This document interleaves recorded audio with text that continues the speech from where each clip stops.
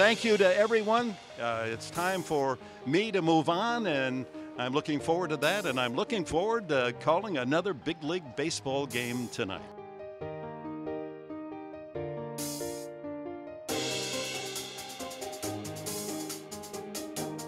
They're talking about my last year. I'm going to be on the floor. I'm going to be in the cellar. Yeah.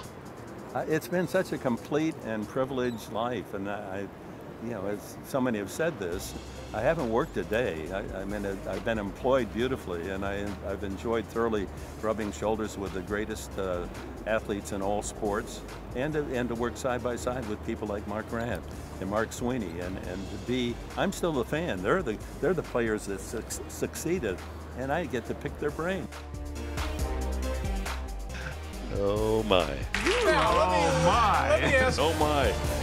Yeah, oh my has been a, an expression, a great friend of mine for over 50 years of my career, and never have those two words expressed more personal joy than at this very moment. Man, I thought I'd get all the way to the end before I started to get emotional. Scully called me when the announcement was made, and he said, only one piece of advice, Enberg, no crying at Cooperstown. Congratulations on a magnificent career. Yeah, I didn't you. cry at Cooperstown. I, mean, gee, I didn't yeah, cry. You did very well. I was waiting to see. No crying at Cooperstown.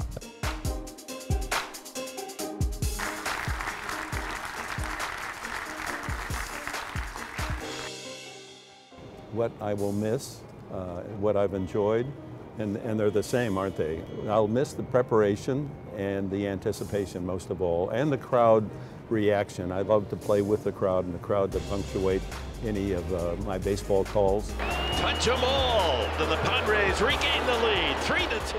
I love the San Diego fans, and I love the fact that I'm able to call a game with San Diego in front. Every city says, hey, we're the greatest uh, uh, uh, fans in the world, don't they? Well, we are, and the ones that have loyally stand, stood by this uh, franchise, I can't wait for the time when Petco Park is jammed and there's a thousand people outside that want to get in and the tickets are all sold out, and they're here to cheer a, a, a pennant driving team and eventually a World Series. You're paid to prepare and broadcast the bad games. The goal is to keep your audience and, and entertain them. You may have to go to history and music and into the great character of Mark Grant. When you have a great game, you don't need all those notes. I mean, the game carries itself. But when it slows down and you're down 10 to 1 in the seventh inning, uh, you better be prepared so that at least you, if they want to stay with you, entertain them. Is relaxing your eyes? Does it make me better looking? No you're not the game. You know, you're, you're not the game. You're there to enhance the experience of those watching or listening to you to enjoy the game all the more. And uh, the game, it's never been about me. It's been about the privilege of sitting there and talking about the greatest athletes and the greatest games in the world.